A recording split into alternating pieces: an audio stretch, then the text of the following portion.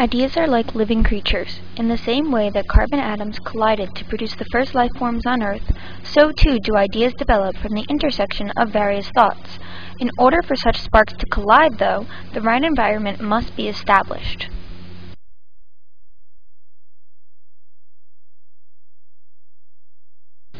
In order to understand the ideal environment for idea generation, we must first define what exactly good ideas are made of.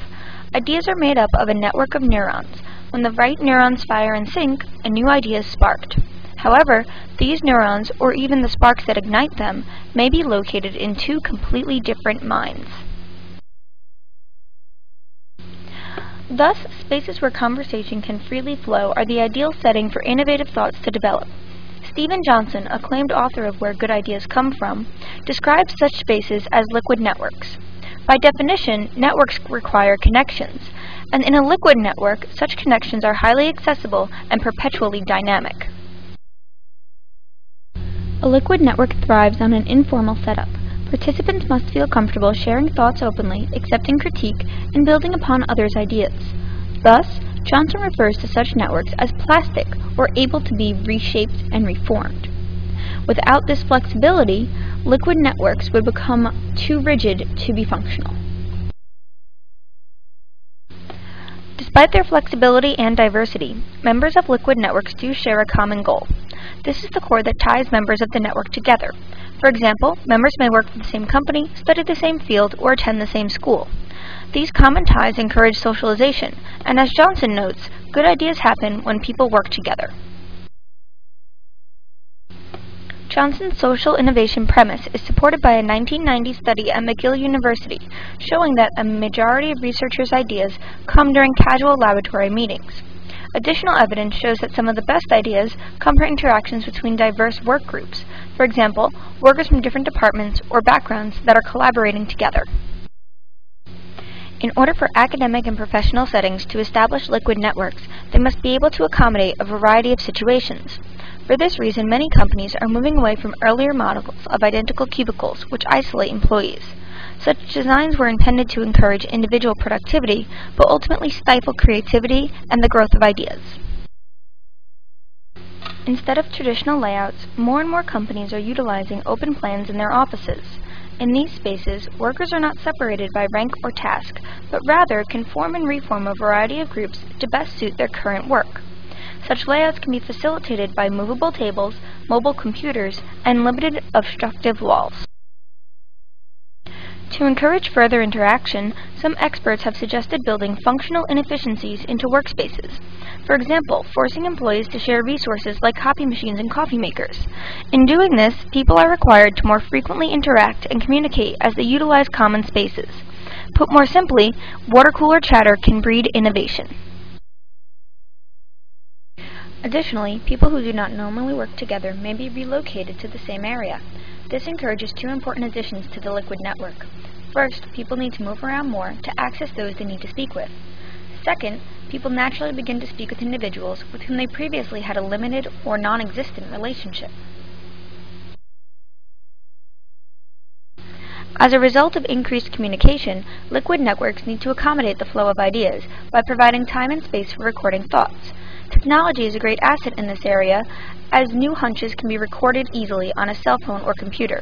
However, some companies have become even more creative. For example, Microsoft developed an office with whiteboard walls. For companies, liquid networks combine physical infrastructure and social connections. These same principles, though, can be applied to schools in order to enhance students' learning. In an effort to determine the best layout to facilitate educational liquid networks, some schools have undertaken surveys to evaluate facilities and make suggestions on how to modify buildings to meet goals.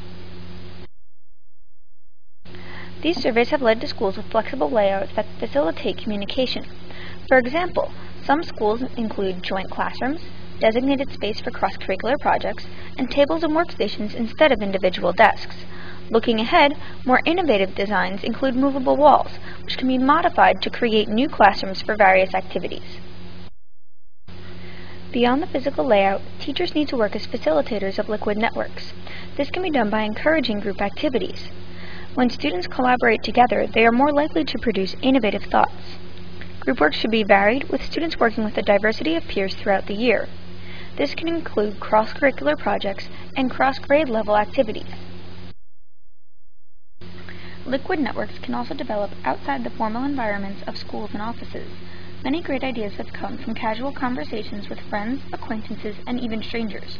Certain places in our environment foster such meetings. For example, the so-called coffee houses from 17th and 18th century Europe facilitated new philosophies and technologies.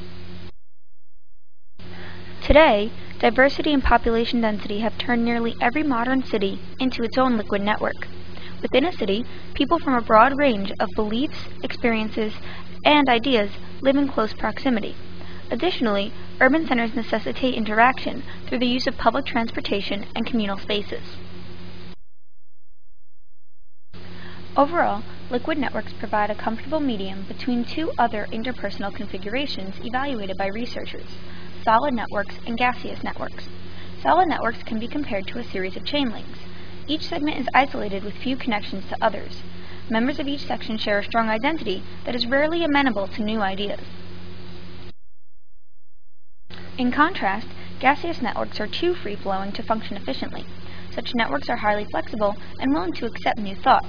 However, the constant shift towards new ideas often leads to a lack of focus and abandonment of previous work. Without appropriate filtering, a plethora of ideas leads to too little practical implementation. To remain productive, networks have to be both firm and flexible. In a liquid network, members are neither stubborn, as in solid networks, or flighty, as in gaseous networks. They are open to change and understand how to weave new ideas into existing frameworks. Bonds between members of liquid networks are strong enough to last, but malleable enough to adapt. Ultimately, liquid networks are environments where hunches connect. With the collision of partial ideas comes innovation, this cannot happen in isolation. Rather, as Johnson explains, great breakthroughs are closer to what happens in a floodplain. A dozen separate tributaries converge, and the rising waters lift the genius.